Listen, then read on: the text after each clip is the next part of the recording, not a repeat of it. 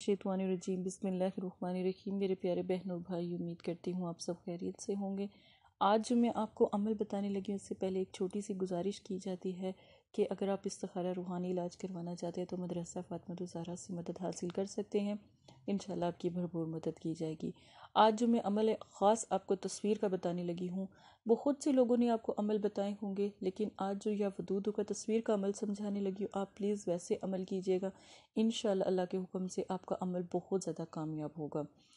तस्वीर का तल्लक अल्लाह पाक ने वैसे तो तस्वीर को हराम मतलब कि करार दिया, क्योंकि जानदार चीज़ों की तस्वीर बनाना गुनाह है, ठीक है ना? लेकिन आजकल जो लोग हैं इस चीज़ को बहुत कम समझते क्योंकि इसमें कुछ ऐसे राज छुपे हैं कि जो कोई भी नहीं समझ सकता और किसी को ना ही समझ आते मासवा अल्लाह के, ठीक है ना? ये अर्श राज हैं, ये अल्लाह अल्लाह पाक जानते हैं तो बेहतर यह है कि इनके इनके साथ ज़्यादा जो उनसा है, अपने आप को ना ये सब मतलब कि शिर की तरफ़ ले आता है। तस्वीर के ऊपर या वदूदों का जो ज़िक्र है, वो कैसे किया जाता है? सबसे पहले बहुत सी आप तस्वीरें आपने रखी होती है। पहले चेक किया करें कि वो तस्वीर एडिट तो नहीं है? क्या उसमें कोई रद्दो बदल किया है? कलर, चेंजिंग वगैरह ये चीज़ें की हैं? वो तस्वीर पे अमल करें, कभी भी कामयाब नहीं होंगे, नंबर एक।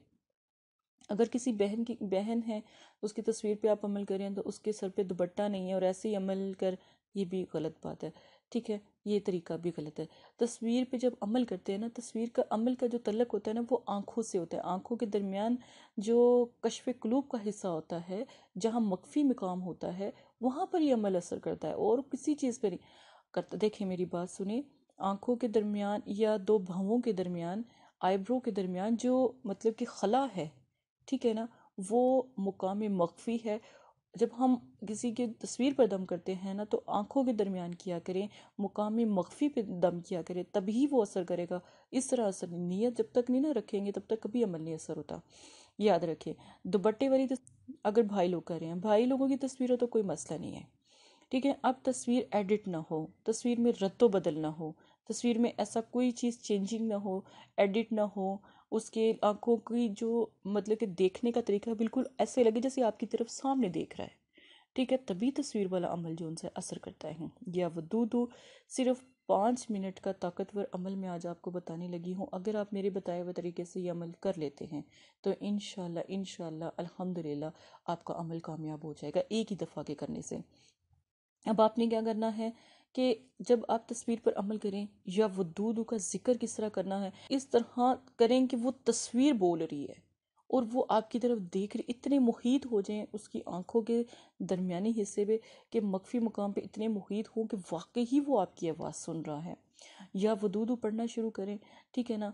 और बग़ैर आँख झपके, जब आपने या वदूदू का ज़िक्र करना है, तस्वीर की तरफ़ इतने गहरे तरीके से देखना है कि आपकी आँख बिल्कुल भी मतलब कि झपकनी नहीं चाहिए। आपकी आँख नहीं, बिल्कुल भी जो सा है, अप डाउन अप डाउन नहीं होनी चाहिए। जब आप तस्वीर की तरफ़ देखकर अमल कर रहे होते हैं तो फोकस आपका आँखों के दरमियान, बल्कि आँखों की तरफ़ नहीं हो, चेहरे की तरफ़ ना हो। सिर्फ़ आँखों के दरमियान आपका फोकस हो। अब आपने, जब आप इस तरह करके अमल करेंगे ना, यकीन माने आपका अमल, ये ये कोई आपको नहीं बताएगा। ठीक है ना? बहुत सी आपने तस्वीरों अमल करो, तस्वीर के ऊपर अमल करो, ये करो। ये गलत बात है। तस्वीर का तलक मुकाम मख्फी से है, ठीक है? जहाँ पे रूहानियत का मतलब कि दरवाज़ा है। ठीक है ना? मुकाम मख्फी, रूहानियत का दरवाज़ा। ठीक है ना, जिसे मैंने बहुत से अमलों में भी आपको बताया है। मुकाम मख्फी कशफ कलूब, बातनी आँख, ये बातनी आँख का तलक है। ये तीसरी आँख जो उनसे होती है ना, हमारी दोनों आँखों के दरमियान होती है। आप या वदूद इकतालीस मरतबा की हदूद में आपने बिना आँख झपके हुए आँखों की तरफ़ जो मकफ़ी मुकाम है, वहाँ देखते हुए ये अगर अमल कर लिया आपका मसला हल हो जाए। अब आपने क्या करना है? आपने एक दफ़ा या वदूदू पढ़ लिया, इकतालीस मरतबा आँख को झपक लिया।